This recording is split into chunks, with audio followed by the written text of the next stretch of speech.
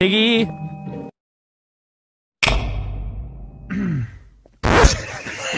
Alan, he's, pre- he's preparing a monologue. this one through. It So, was the it year was 1989.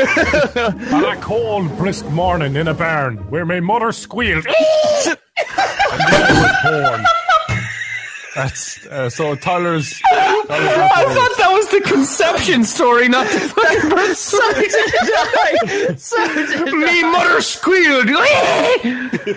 Oh. Is your mom a pig and your dad's a human? One of them's a pig fucker at the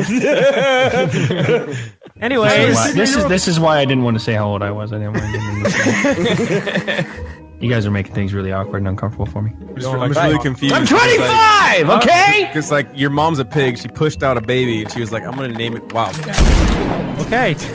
Um, I guess it's the homeless guy. Oh god damn it! Piggy. Alan, he's,